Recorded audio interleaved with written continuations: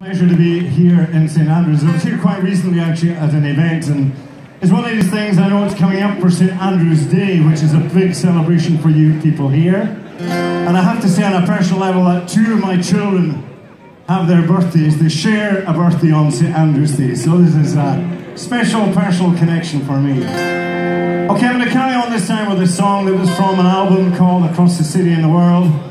And this is a song that I worked on with a, a, very fine musician based in the Isle of Skye, one of the founder members of the band Runrig, a guy called Blair Douglas.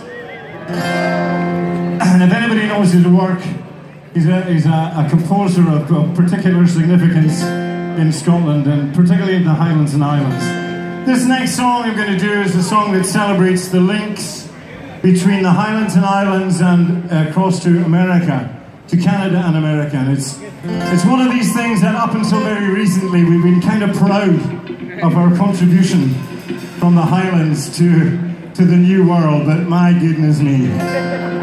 Donald Trump, what can you say? Anyway, we all have black moments in our history.